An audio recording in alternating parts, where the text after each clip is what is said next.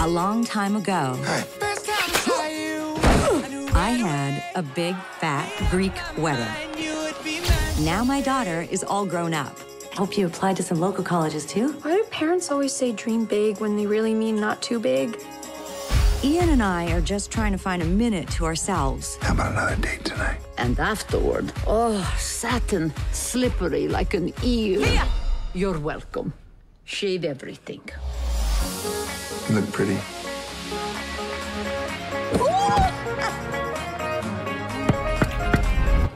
What are you doing? Dad! And my family is still too close. Parents deserve a sex life, too.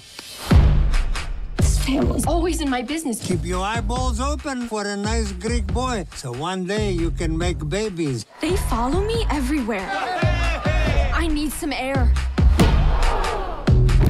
Your mom felt the same way about being Greek. Florida, Texas, New York. These are the colleges I'm applying to. Why do you want to leave me?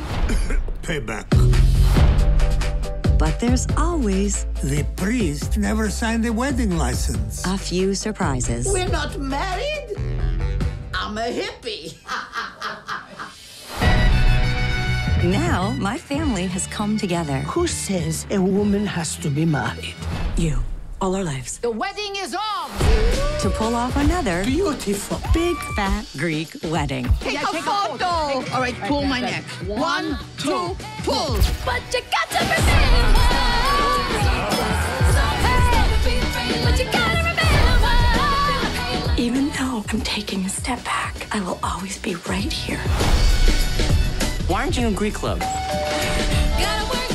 Every day of my life is Greek Club.